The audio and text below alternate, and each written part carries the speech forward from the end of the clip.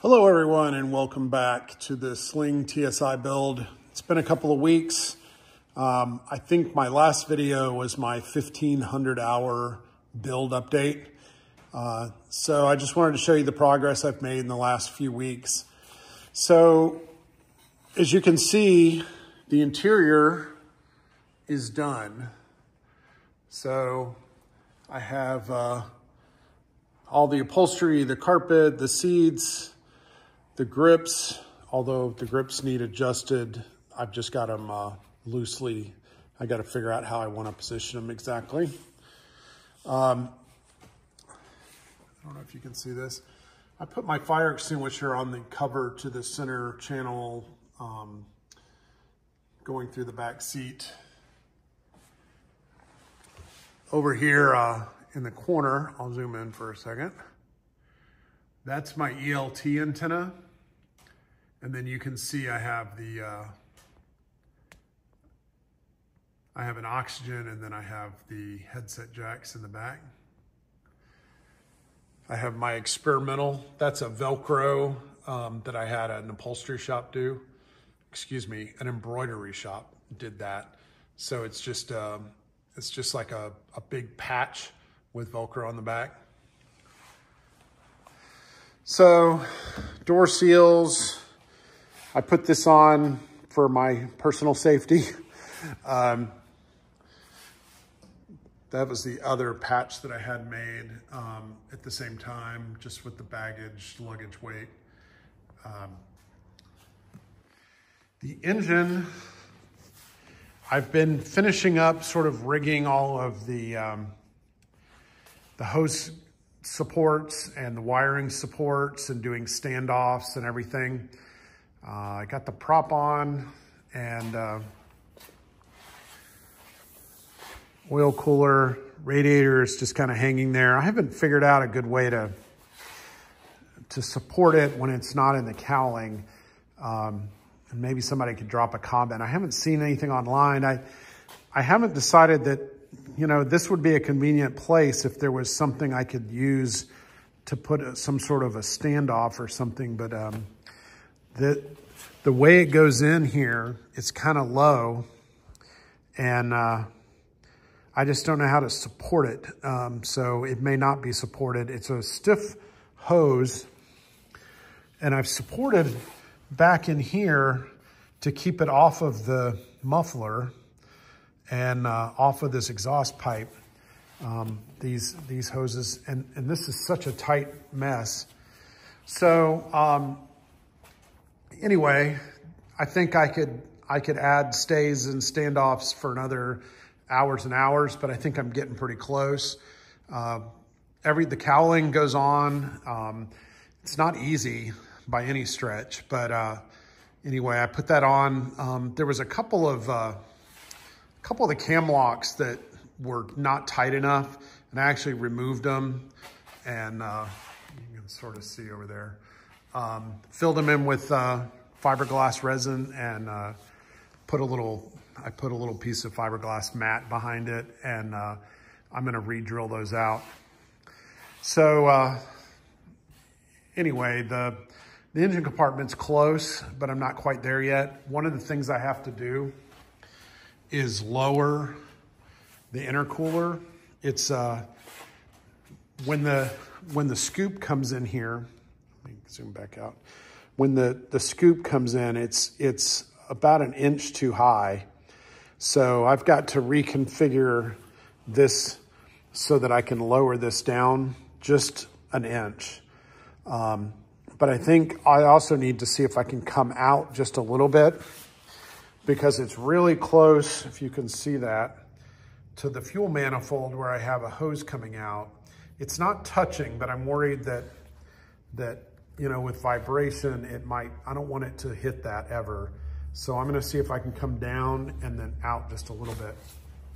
So those are a couple of things um, that, uh, that I've been working on. A little, uh, a little weird thing. Um, I, uh, when I was, when I was prepping the seats, um, the instructions that I have, and I think they're the most recent instructions, show a plastic piece that goes in the side rail um, up against the side, not the bottom piece. And um, it, it's like a spacer and something to help it slide. And I didn't have them, and I thought maybe I had misplaced them at some point.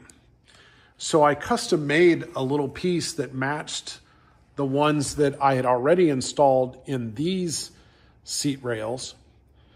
But when I did that, this seat wouldn't slide anymore. Uh, so I removed it, and then now this seat slides fine. So I don't know if I never got the piece or if I got the piece and it wouldn't have worked anyway. Um, but that was kind of a weird little, uh, little thing. So uh, anyway, I wasted about an hour creating these little plastic spacer sliders and, uh, and then ended up drilling it out and removing the rivets and then uh, doing away with it. Um, but the seat seems really firm and it slides nice, and so we're good there. Um, I still, I still haven't done the uh, the fairings. Um, they're just sitting in place. Um, I started working on the uh, the spats or the wheel pants or whatever you want to call them. Um, so the front I've got pretty well done. Um, it went together very well. I'm gonna have to do some work on the, uh, on the, the mains. Uh, they're not lining up perfect, so I think I'm gonna have to do a little sanding to make everything follow the joggle. Um, so that'll be a little work that needs done. But uh, pretty happy. Uh, I have a small punch list of things that, that need to happen. Um, I, uh, I just reinflated the tires and uh, over the last year and a half since I inflated the tires, they'd gotten a little low. And uh, I'm gonna try to weigh the plane next week. If I can get the, the last few things, get the cowling back on, put the wheel pants on.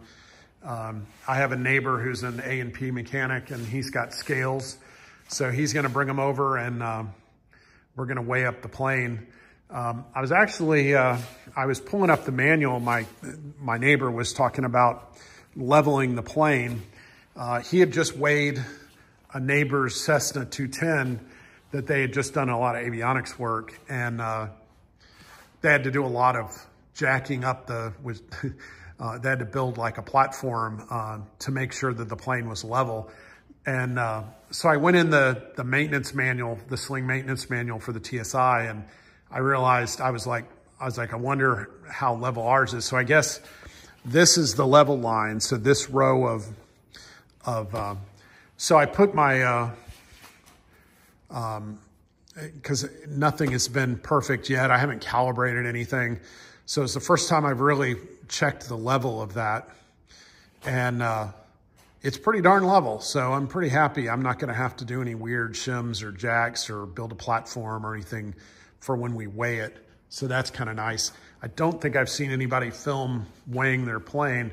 I've seen some results, but anyway, so that's uh, that's going to be next week. Um, and I'll do some pictures and uh, maybe some video of us weighing it just so uh, I can talk about that a little bit.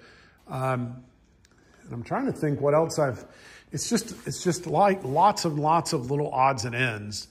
Um, but we're, we're getting closer and uh, it's getting exciting. I, am hoping I can finish this out in the next few weeks. Um, like I said, the wheel pants, the wheel or the, the wing and the empennage fairings are, uh, let me zoom back out, are what's left to be done. And uh, I'm hoping I can get that finished here in the next few weeks. Um, then it's just down to some punch list items. I need to let a little more air out of the pistons on the uh, on the doors. It's too hard when you grab the handle. It's too hard to pull it down. And I hadn't really sat in the plane and tried to experience that until just the other day. So uh, it's I need to let some more of the the compressed air out of those uh, gas struts. So uh, I'll do that until I can come up with a happy medium. And also um, the, uh, I should have done it, I should have taped these into place before I mounted the, uh, but they're gonna come out for paint anyway. But uh, I have a couple of spots where the, um, the weather stripping is a little low and uh, I did it with light. Uh, I got a flashlight and kind of, I sat in the plane and had, uh, um, actually my brother-in-law shined a flashlight around and there's a couple little spots in the corners on both doors. And then a, a, it's actually on the other door. There's a little spot here where it's a little low. So I'll probably um, ask my paint shop when they do it just to add a little, uh, a little epoxy, uh, some superfill or something just to bump it out just a little bit. It doesn't look like too much of a, uh, too much of a gap, um, just to fill in uh, the low spot here, just so it'll pull out when we replace this after paint. Uh, it'll pull it out a little bit and hopefully seal better. But uh, I think that's it for this week. Um, hope everybody's doing well and uh, is doing well with snow and icy weather. I'm in North Carolina and we've had some snow and some ice and we might get some snow in the next few days. I'm not sure. The, the conditions have kind of dropped where our chances are a little low. So I don't know that it'll happen. But uh, uh, to those builders, good luck with your projects and I'll talk to you again in a week or two.